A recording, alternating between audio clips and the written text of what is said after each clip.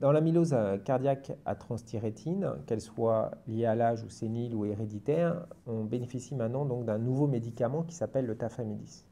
Ce médicament a démontré dans une étude qui s'appelle ATTRACT une amélioration de la survie de 30% et une diminution des hospitalisations pour décompensation cardiaque de 32%. Alors comment ce médicament marche? Pour vous expliquer comment il marche, il faut que je vous rappelle donc euh, ce que c'est que l'amylose à transthyrétine. Donc l'amylose à transthyrétine est liée à la transthyrétine, qui est une protéine produite par le foie. La transthyrétine, c'est en fait un transporteur et quatre molécules de transthyrétine vont former donc un tétramère. Donc elles vont se mêler ensemble comme une pelote de laine et elles vont transporter dans le sang deux molécules, les hormones thyroïdiennes et le rétinol. D'où son nom, trans comme transporteur comme thyroïde et rétine comme rétinol. Et donc vous voyez, ça transporte, ça transporte euh, les hormones thyroïdiennes et le rétinol.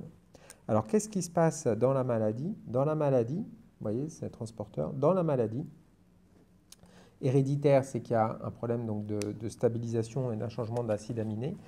La transthyrétine va euh, se, se le tétramère va se déstabiliser et va former des fibrilles amyloïdes. Voilà, fibrilles amyloïdes qui deviennent donc très rigides et qui sont un phénomène actif qui pousse, c'est-à-dire que les fibrilles en fait poussent, c'est-à-dire qu'il y a de plus en plus de fibrilles amyloïdes qui s'allongent, qui s'allongent et qui s'allongent.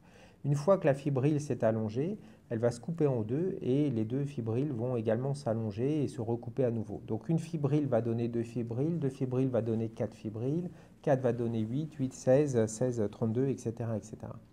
Alors comment marche euh, le tafamidis. Donc vous voyez, pardon, ces fibrilles vont venir infiltrer les organes et principalement euh, le cœur. Donc le tafamidis, en fait, c'est un stabilisateur du tétramère, c'est-à-dire que c'est un véritable petit gond de porte qui va se mettre dans la protéine sous sa forme donc de pelote de laine, comme cela, et qui va empêcher le tétramère de se dissocier. C'est-à-dire que vous voyez, ça stabilise la protéine. Donc la, protéine reste sous sa forme de transporteur, de transthyrétine, et ne va plus fabriquer des fibrilles amyloïdes. Donc ce qui est important de comprendre dans le mode d'action du tafamidis, c'est que ça ne va pas jouer sur les dépôts d'amylose qui sont déjà dans le cœur, mais ça va empêcher que d'autres arrivent en fait.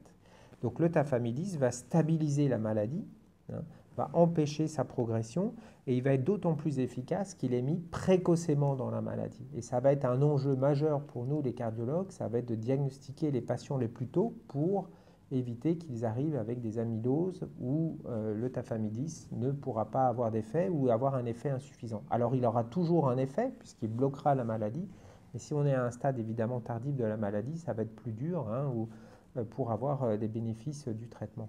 Donc quand on met un patient sous tafamidis, il ne faut pas s'attendre à ce qu'il retrouve ses 20 ans, comme on peut le voir dans d'autres pathologies cardiaques, mais déjà stabiliser la maladie, c'est vraiment un grand pas. Et éviter sa progression, c'est vraiment déjà le premier traitement que nous avons à disposition. C'est un traitement qui est oral, qui se prend à 20 ou 80 mg, qui n'a quasiment aucun effet secondaire, sauf chez 5% des patients des troubles digestifs.